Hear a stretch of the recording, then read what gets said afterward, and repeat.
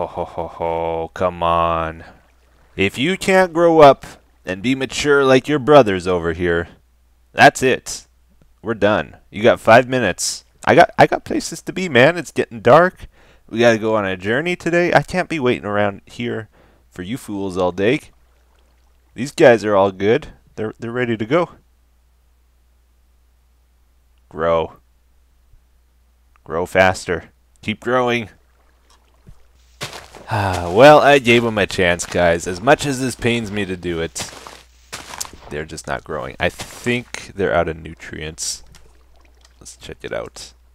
Yeah, it's bone dry. I think that's what happened. These ones, they still had some left, and that's why they were able to mature. Although the peppers... I said that weird. Peppers! the peppers, they are bone dry as well, and, and this one turned red. So I don't know what's going on. Uh, but yeah, uh, welcome back everybody to some more Terra Firma Get our carrots. This is the last harvest before the winter. Not all the cabbage made it either.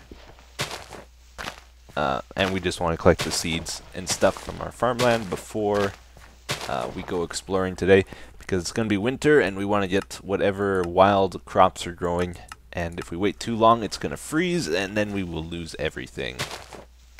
So, oh, look at that! There's green peppers too. Oh, I didn't know that. Green bell pepper. So if you if you pick them before they're fully ripened, they're green. That's pretty cool. Oh yeah. Alright, so it's not a total waste. uh, let me uh, finish up here. I made a bunch of these vessels, empty vessels, so we'll be able to carry lots of stuff today. Um, and I'm just making final preparations before we take off here. I got a, a barrel full of water ready, and everything around here seems to be in good order, so we should be able to go any moment now. But before we go on our adventure, everyone, there's one more thing we need to do. We got to think about our food.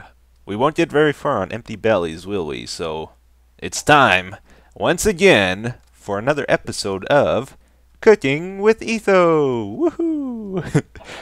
Highest rated show on our network. Thanks to your support. Alright guys, so today on Cooking with Etho, of course, we own I keep saying of course. we only use the freshest ingredients, just picked from our, our garden. Um, and today we will be making, with all these beautiful vegetables, the perfect steak. now, I know what you're thinking. This steak, a little past its prime, maybe six, seven, maybe eight months old. It's true, it's been a while since... Uh, we cut sirloin into pieces, or before he was crushed into pieces. I'm not sure exactly what happened there. Um, but best before dates, that term I think is open to interpretation, honestly, because this meat is not going to be it's at its best until I prepare it. Obviously, after I cook it with my special touch, that's when it's at its best. Okay, so best before date hasn't happened yet.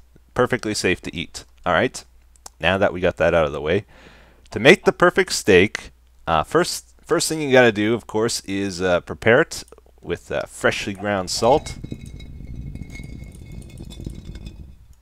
All right, just add a pinch of salt to it. Really enhances the flavor and helps to draw out the moisture or something. You got to work it in there. Um, if uh, if you're limited on counter space in your kitchen, of course, look at all this. We got the floor wide open.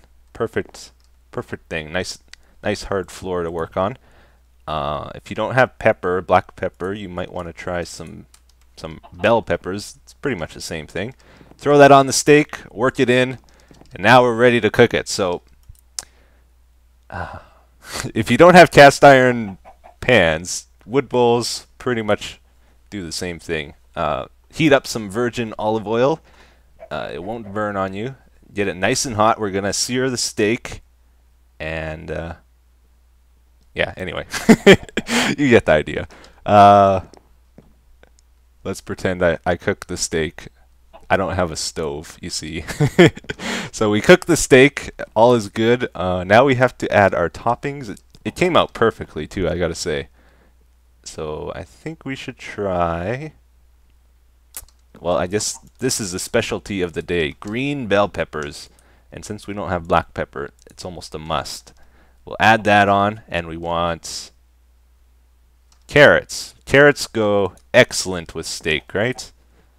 There we go. And as a little sweet aftertaste, a little pleasant uh, punch of, of flavor, we are going to add some blackberries to the mix.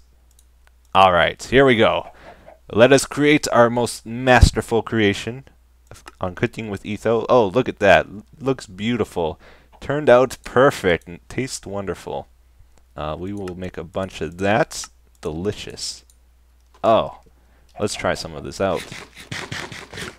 Oh my goodness, the the flavors, the freshness. That is how that is how you make steak. All right, we got our food. Let's go on our journey. Man, I was all ready to go and then it started raining. Uh, we'll have to wait another day, I think. Uh, I realized though, the pit, our pit is about to break, so we should make a new one. I'm going to try make an iron pick. Now that we have iron, because um, we'll probably do a little bit of mining on the on the way. So hopefully, I can do this. let's let's start heating it up. It'll take a while. Okay, it's ready to go here, and I'm cooking up the iron bloom we made at the end of the last episode too. Uh, we'll probably have to make a hammer soon too, maybe with that iron. Oh. Uh-oh. Oh, do we need... We might... Oh, I can't do it. We need an iron anvil. Darn it. I don't have any bismuth around anymore. I just I have to make up a batch of that. Because uh, we do not have enough iron to make an iron anvil, I don't think. Uh, okay, so we do have enough iron, actually. I counted it. uh, I'm going to attempt to make an iron anvil and an iron pick before we leave. I'm going to do most of it off camera, though, because it's going to take a long time. Um, but we, we got to get this going quick. So let's uh, do up another batch of iron. Need 24 drop it in. And then we need 24 charcoal. Or do we? Ah. Oops. Oh, did it not take it all? That's weird. Whoa. Uh-oh. Uh-oh. I'm trapped. Oh no. I'm trapped in I'm trapped in the forge. It won't let me jump. Can I break this? Is it gonna wreck my... Ah, I wrecked it, I think. Are you kidding me? Can I get out of here? No. Oh, what a waste. I think I just destroyed a ton of stuff. Or I might not be able to break this. Am I trapped? oh no. I can't break the walls. I think I'm trapped, guys.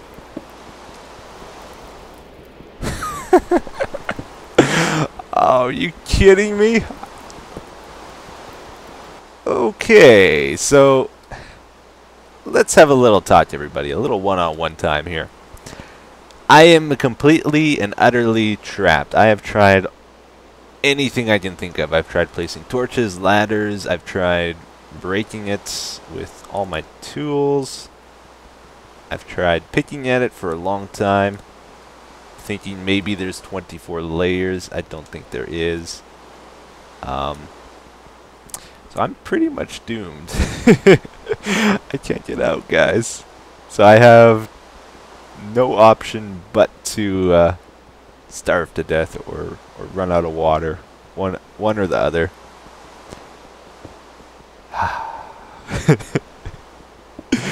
I can't believe it. This is not how I thought I would go the second time. This is not This is not right. I've tried like jumping at the same time that it breaks, hoping that would do it, but I haven't managed to free myself doing that either. well, this is the end. Don't listen to Etho 3. He's a jerk. He he won't ever be as good as me.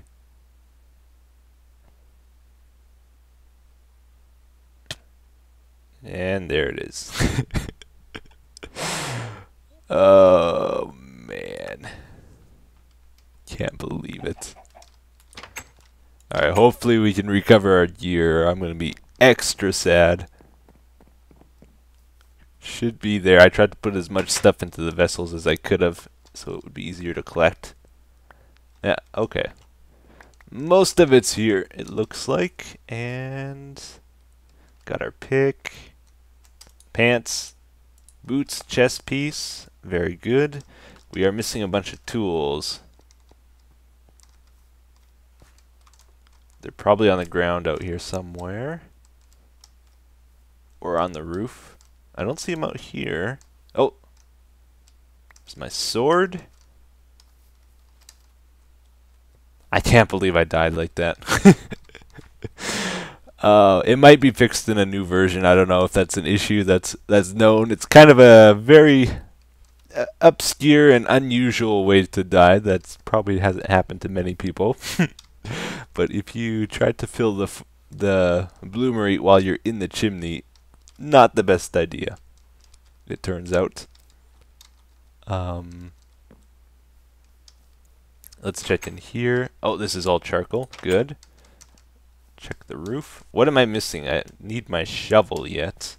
There's probably a bunch of stuff on the roof. Oh yeah, here it is. Good, very good. So I just did a double check and we recovered everything we had, I'm pretty sure. have nine vessels uh, like I did before. So it like scattered everywhere. Some of it was down at the bottom of the cliff here, and yeah. anyway, let's make sure this thing still works. There it is. So we'll light it. I'm going to still attempt to make the anvil before we go. This has to be closed. I've learned that already. Alright, it's going.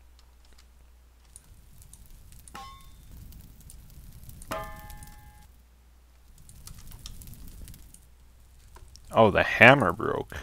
it's like, why is it not working anymore? There we go.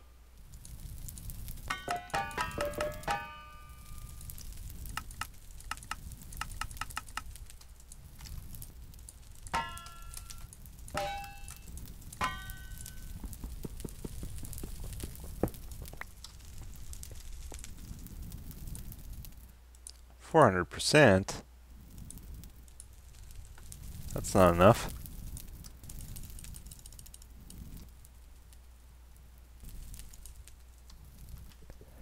And it is now October the 3rd. Time is running out quickly here, but I'm almost ready to go. uh, we have seven double ingots now, which means we can make... That's right. The anvil, the iron anvil. Oh, baby. Let's get this piece of junk out of here. Oh, man. Oh, that looks cool. Sweet. so now we should be able to make our iron pick. Put that in. Yeah, okay, we can select our plans. Pickaxe. Oh, I can't believe it. We are finally ready to go. we had some setbacks, but our journey begins now. Not sure how long we're going to go adventuring for, but uh, probably at least till the end of this episode, and maybe we will start the next episode in the middle of our adventure too. Um, but I think we're going to go out this way. We're going to take the ocean as far as it'll take us. Well, it will take us as far as it will take us. Take us. No, wait. Anyway, I uh, I'm not gonna dwell on what I just said there. Uh, hopefully we don't hit ice or anything like that. We are heading south, I believe.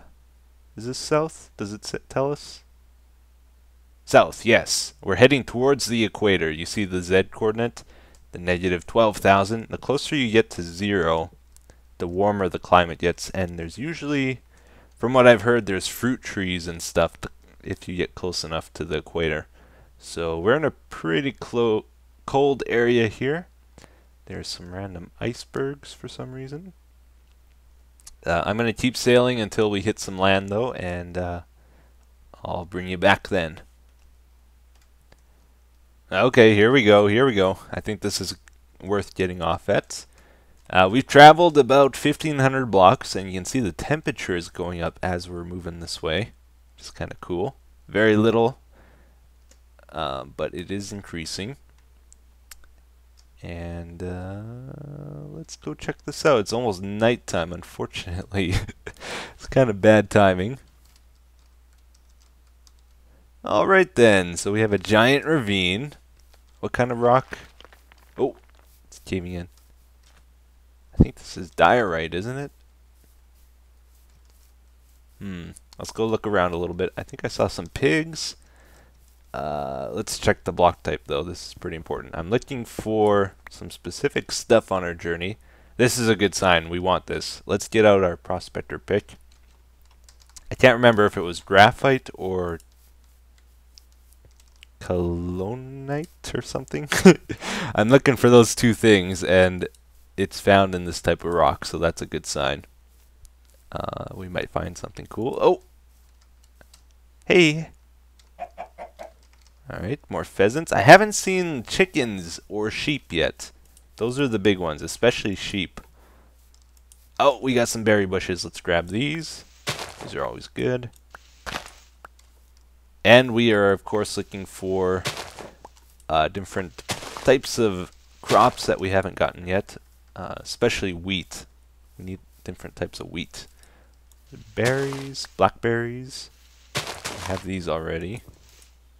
Oh, some of them are ready. Cool.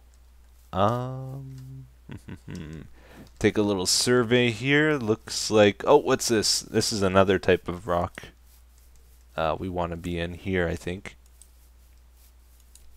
I think this is the skits stuff, or how do you say it? No, maybe not. This might be... Wait, what kind of rock is this? Oh, it is this. Okay. Same stuff. Uh, we just passed the copper deposit though. Maybe we should check this. Nope, nothing of interest. It's too far down underground for us to care. Alright, so I did find some copper. Uh, I'm going to dig down. It's nighttime. I don't really want to run around at night. Can't see anything anyway. So we will dig down. We will get our coppers. First time trying out our new pick too. I think it's gonna. I think it's supposed to be slightly quicker. Yeah, it seems maybe a little bit quicker.